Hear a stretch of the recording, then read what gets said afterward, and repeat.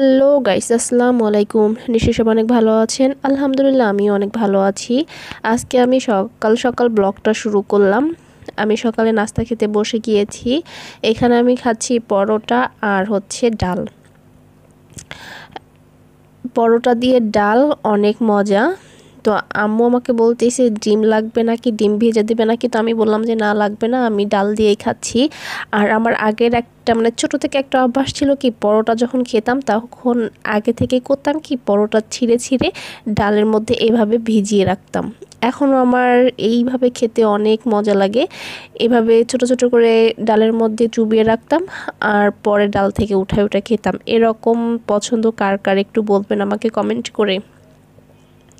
এভাবে ভিজিয়ে খেতে মনে হয় কি পরোটাটার স্বাদটা অনেকটাই বেড়ে যায়। আর পরোটাটা অনেক নরম হয়ে আসে। আমি এইভাবে খেতে খুব পছন্দ করি আগে থেকেই। এখন ওই অভ্যাসটা আমার রয়ে গিয়েছে। পরোটা খেতে ধরলেই আমি এইভাবে খাই। তো ডাল দিয়ে অনেক মজা করে আমি পরোটা খাচ্ছি। পরোটা খেতে আরেকভাবে আমার খুব ভালো লাগে তা হচ্ছে গরম গরম চা দিয়ে। গরম গরম চায়ের মধ্যে পরোটা চুবিয়ে খেতে আরও বেশি মজা লাগে। তো এই যে আমি অর্ধেকটা পরোটা এখানে রেখেছি। এখন আমি এটা মুড়িয়ে ডাল দিয়ে চুবিয়ে চুবিয়ে খাব। এটা খেতেও কিন্তু বেশ মজা লাগে। আমার মতো এরকম অভ্যাস কার কার আছে তোমাদের একটু কমেন্ট করে বলিও তো? নাকি শুধু একাই আমি এভাবে খাই? সকালে নাস্তাটা করতে এত মজা লাগতিছে যা বলে বোঝাতে পারব না। তো আমার মতো যারা যারা এইভাবে খেতে পছন্দ করো, তারা আবার আমাকে নজর দিও না। কারণ তোমাদের নজরে হয়তো আমার পেট খারাপ হতে পারে। আর নজর দিলেও কোনো সমস্যা নাই, কারণ এটা তো আমি আগে খেয়ে ফেলেছি, তারপরে এডিট করেছি। যতক্ষণে এডিট করেছি ভিডিও, ততক্ষণে এগুলো আমার হজম হয়ে গিয়েছে। তো যাই হোক, অনেক মজা করলাম। এখন আমি নাস্তা করে এখন বাসায় আম্মুর কাজে কিছুটা হেল্প করব। আম্মু এখানে মুরগির মাংস উঠাই দিয়েছে। এটা হচ্ছে দেশি মুরগির মাংস। তো আমি বললাম যে, বাকিটা আমি করতেছি, তুমি অন্য কাজ করে নাও। পরে আমি রান্নাবান্না দেখতেছি। এখানে মুরগির গোস আমি একটু কষিয়ে পানি দিয়ে দিব। যারা আমার চ্যানেলে নতুন আমার ভিডিও দেখছেন, তারা অবশ্যই আমার চ্যানেলটিকে সাবস্ক্রাইব করবেন, সাথে বেল আইকন অন করে দেবেন যাতে আমি নতুন কোনো ভিডিও ছাড়লে সেগুলো নোটিফিকেশন আপনাদের কাছে খুব সহজেই চলে যায়। আর যদি আমার ফেসবুক পেজ থেকে আপনারা ভিডিও দেখে থাকেন, তাহলে অবশ্যই আমার পেজটিকে ফলো দিবেন। আমি মুরগির মাংস খুব ভালো করে কষিয়ে নিচ্ছি। কষিয়ে নেওয়ার পর আমি এর মধ্যে পানি দিয়ে ঢেকে দিব।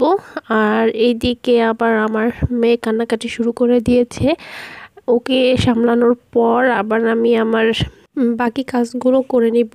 আর আমার মেয়ের বয়স হচ্ছে সাত মাস। সে প্রায় অনেকটাই বড় হয়ে গিয়েছে। আর সে দুই দিন থেকে অনেক অসুস্থ। আজকে দেখতেছি ওর জ্বরটা খুবই বেড়ে গিয়েছে, এ নিয়ে খুব একটু দুশ্চিন্তার মধ্যে আছি। আপনারা সবাই দোয়া করবেন ও যেন খুব তাড়াতাড়ি সুস্থ হয়ে যায়। আর এই দিকে হচ্ছে চাল কুমড়া, চাল কুমড়াও কেটে রেখেছে আম্মু, এটাও আমি ভাজি করব। তো রান্না বসিয়ে দেওয়ার পর আমি এই দিকে মেয়ের জন্য ফল এনেছিলাম, সেগুলো পানির মধ্যে আমি ভিজিয়ে রেখেছিলাম সামান্য একটু লবণ আর ভিনেগার দিয়ে। জানি না এতে করে কতটা ফরমালিন চলে যায়। তারপর আমি ফল নিয়ে আসার পর প্রায় ছয় সাত ঘণ্টা পানির মধ্যে ভিজে রাখি। ভিজিয়ে রাখার পর এগুলো ভালো করে ধুয়ে আমি এখন এগুলো রেখে দিব। আমার মেয়ে যেহেতু বাড়তি খাওয়া শুরু করে দিয়েছে, এজন্য তাকে একটু চেষ্টা করি ফল খাওয়ানোর। আর সে আঙ্গুরটা খেতে অনেক বেশি পছন্দ করে। আর এইদিকে আমরা নিয়ে এসেছিল, নিয়ে আসার দুই, তিন দিন হচ্ছে। এর মধ্যে আমরা যে কয়েকটা বাকি ছিল সেগুলো অনেক বেশি পেকে গিয়েছে। তো এখন সে আমরাগুলো এখানে কেটে আমরা সবাই মিলে খাচ্ছি। আমরা খাওয়ার পর আমি এই দিকে চাল কুমড়াও বসিয়ে দিয়েছিলাম, সেটাও প্রায় হয়ে গিয়েছে।